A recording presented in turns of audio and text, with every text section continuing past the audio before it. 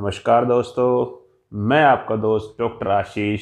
आपका मेरे आज के कार्यक्रम में बहुत बहुत स्वागत है। दोस्तों, आज का हमारा टॉपिक है शिश्न का सिकुड़ जाना। दोस्तों, शिश्न का सिकुड़ जाना क्या है? अगर आपका पेनिस अचानक से सिकुड़ गया है, अचानक से सिकुड़ना क्या होता है? जैसे पहले तो आपका पेनिस बिल्कुल ठीक था, पिछले एक सप्ताह से या पिछले दो तीन दिन से उसमें अचानक से सिकुड़न आ गई है।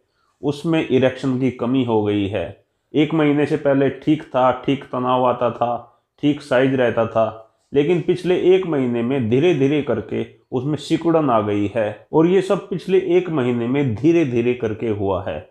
यानी एक तो अचानक से सिकुड़न आ जाती है, एक दो दिन के अंदर अंदर ही, और दूसरी सिकुड़न ये धीरे धीरे करके आती है और लगातार एक महीने तक रोज धीरे धीरे छोटा छोटा होता चला जाता है। बिना तनाव की अवस्था में जब शिश्न रहता है इस समय भी उसका साइज़ छोटा हो जाता है और तनाव आने के बाद भी जितना साइज़ पहले होता था उससे आधा रह जाता है। तो इसे शिश्न की सिकुड़न कहते हैं। दोस्तों ये एक यौन समस्या है ये क्यों होती है इसका होना कितना गंभीर है और इसका इलाज हम कैसे करें?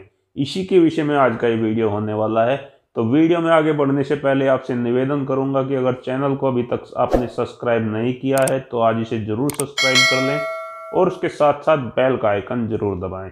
तो चलिए दोस्तों, वीडियो शुरू करते हैं। इस वीडियो में आपको बताऊँगा छह ऐसे कारण जिनकी वजह से आपके पेनिस में सिकुड़न आ सकती है। दोस्तों, ये छह कारण मैंने यहाँ पर बोर्ड पर भी लिखे हुए हैं। अगर आपको ठीक से दिखाई दे रहा है। नहीं तो मैं इनको एक एक करके भी आपको समझाऊँगा। दोस्तों, इसमें सबसे पहला और सबसे बड़ा कारण है प्रोस्टेट से जुड़ी हुई बीमारियाँ।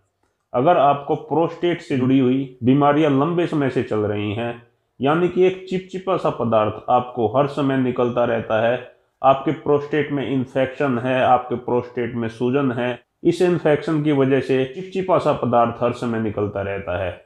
दोस्तों, एक तो होता है कि जब हमारे मन में कोई सेक्सुअल थॉट आया, उस समय चिपचिपा सा पदार्थ निकलता है, ये तो नॉर्मल बात है। लेकिन अगर हर समय इस प्रकार का चिपचिपा सा पदार्थ बहुत ज़्यादा मात्रा में निकलता रहता है तो ये हमारे प्रोस्टेट में इन्फेक्शन होने की वजह से होता है। दोस्तों, अगर ये बीमारी हमें लंबे समय तक चल जाए तो इस कारण हमारे पेनिस में श्रिंकेज आ सकती है। लिंग की सिकुड़न का दूसरा बड़ा कारण है पेरोनी डिज़ीज़ दोस्तों, इसमें होता क्या है, आपके पेनिस के अंदर अंदरूनी चोट लग जाती है।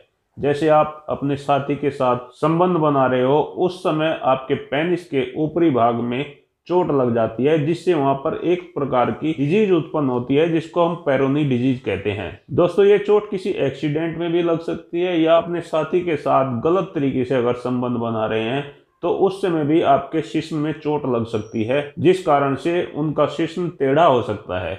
जैसा कि आप इस चित्र में देख रहे हैं पेनिस में बैंड हो जाता है, टेढ़ा हो जाता है। तो ये भी पेनिस सिंक्रेज का दूसरा बड़ा कारण है। ऐसा अगर आपके साथ हो गया है तो पिछले एक महीने के अंदर अंदर आपके शिश्न में धीरे धीरे करके सिकुड़न आ जाती है। दोस्तों, इसका तीसरा बड़ा कारण है बढ़ती हुई उम्र। बढ़ती हुई उम्र के साथ साथ हमारी नसों में खराबी आती है। 90 फ़ीसदी लोगों को कोलेस्ट्रोल बढ़ जाता है और उनकी नसों के अंदर ब्लॉकेज आ जाते हैं। बढ़ती उम्र के साथ साथ नसों के अंदर गंदगी इकट्ठा हो जाती है, क्लोट्स बन जाते हैं और ब्लड सप्लाई उससे प्रभावित होती है। और ब्लड सप्लाई प्रभावित होने से ब्लड सप्लाई कम होने से शिशन के अंदर सिकुड़न आना एक आम बात है, जो बढ़ती हुई उम्र के लोगों को अक्सर हो जाती है। दोस्तों, इसका चौथा जो कारण है, वह है न्यूरोलॉजिकल यानी कि हमारे शरीर में कुछ ऐसी तंत्रिकाएँ हैं, ऐसा नर्वस सिस्टम है, जो करंट पहुँचाने का काम करता है। यानी मस्तिष्क से जो मैसेज आता है, वो हमारी रीढ़ की हड्डी के माध्यम से तंत्रिकाएँ गई हुई हैं, जो हमारे शिशन को मैसेज भेजती हैं कि आपको इरेक्शन करना है।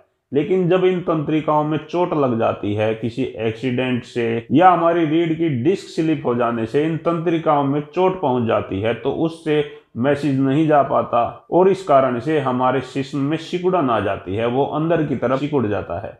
दोस्तों, इसका पांचवा कारण है मोटापा। अगर आपको मोटापा है, आपके पेट के चारों तरफ़ चर्बी जमा हो गई है तो आपके पेनिस का सॉकेट अंदर की तरफ़ घुस जाता है।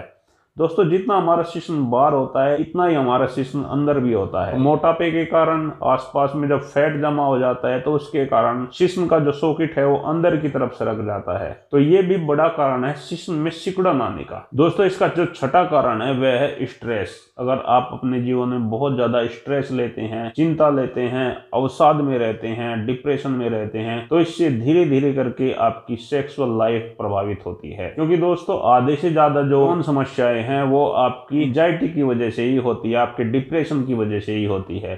तो दोस्तों, अगर आप अपने यौन स्वास्थ्य को सुधारना चाहते हो, अपने यौन स्वास्थ्य को बिल्कुल ठीक रखना चाहते हो तो उसके लिए आपको एंजाइटी आपको डिप्रेशन आपको तनाव, चिंता, घबराहट, इन सबसे दूर रहना होगा। अगर आपका काम ऐसा है कि उसमें बहुत ज़्यादा चिंता रहती है बहुत ज़्यादा तनाव रहता है तो इसकी वजह से आपको यौन समस्याएँ आ सकती हैं। तो दोस्तों, अपना काम इस तरीके से एडजस्ट करें ताकि आपको डिप्रेशन कम से कम हो, चिंता तनाव कम से कम हो, इसका आपको विशेष ध्यान रखना है। दोस्तों, अब बात कर लेते हैं चिकित्सा की।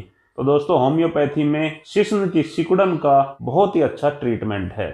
अगर आपको ये समस्या आ रही है कि पिछले एक महीने में या पिछले एक सप्ताह में धीरे धीरे करके आपका शिश्न सिकुड़ गया है, अंदर की तरफ़ घुस गया है। होम्योपैथी में इसके लिए बहुत ही अच्छी अच्छी दवाई आती हैं, घबराने की कोई आवश्यकता नहीं है। लेकिन दोस्तों, उसके लिए आपको अपने होम्योपैथिक डॉक्टर से मिलना होगा। उनसे बात करनी होगी, क्योंकि आपकी समस्या का जो मूल कारण है, वो जब तक डॉक्टर को पता नहीं चलेगा, तब तक आपकी समस्या ठीक नहीं होगी। क्योंकि दोस्तों, मैंने आपको छह कारण बताए। इनमें से आपको कोई भी कारण है तो उसकी अलग अलग होम्योपैथिक दवाइयाँ हैं। अगर आपको प्रोस्टेट से जुड़ी हुई बीमारियों के कारण ये समस्या है, उसकी अलग दवाई है। अगर आपको अंदरूनी चोट के कारण ये समस्या है, उसकी अलग दवाई है।